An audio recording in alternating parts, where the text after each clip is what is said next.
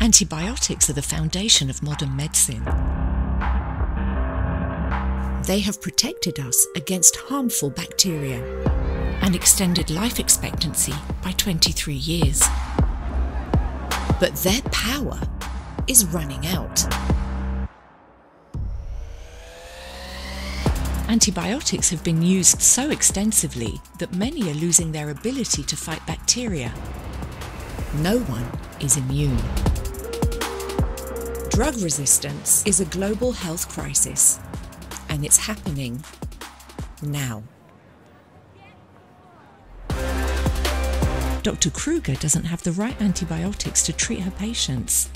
Melissa, a healthcare worker, is alarmed by the spread of supergonorrhea. Nurse Judith knows that standard treatments for sepsis are failing.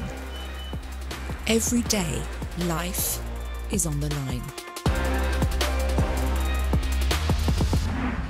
Effective antibiotics save lives.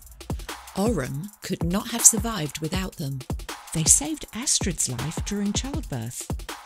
Hilary knows that antibiotics are key to cancer care. Everyone has a part to play.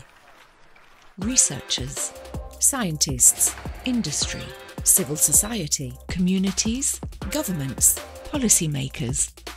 GARDP is committed to driving progress in antibiotic research and development. Together, we can help develop new treatments for drug-resistant infections and make sure that they are accessible to everyone.